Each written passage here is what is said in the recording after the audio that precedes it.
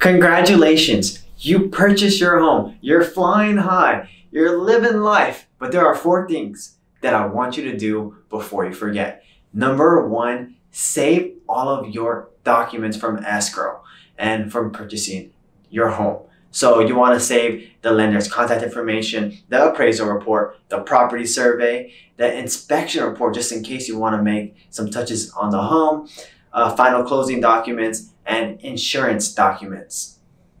Number two, you want to set up your utilities and do it as soon as possible. Sometimes the utilities might be in the name of the previous owner and you're going to need to change ownership and tell your realtor to tell their realtor so that you can get access to those utilities. Utilities I'm referring to are electric, water, sewer, gas, waste disposal, whether that's trash or recycling, and then cable and internet. Again, do this as soon as possible.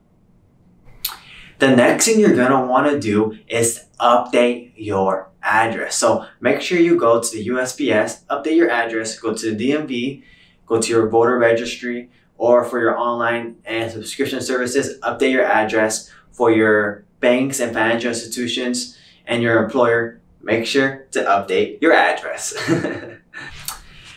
And lastly, what you want to do is inspect and secure your home. So make sure to locate your water shutoff valve and your fuse box. That way you know where it's at. Change the locks. You want to make sure that there doesn't there isn't a possibility of someone having access to your property. So I always recommend changing your locks as soon as possible.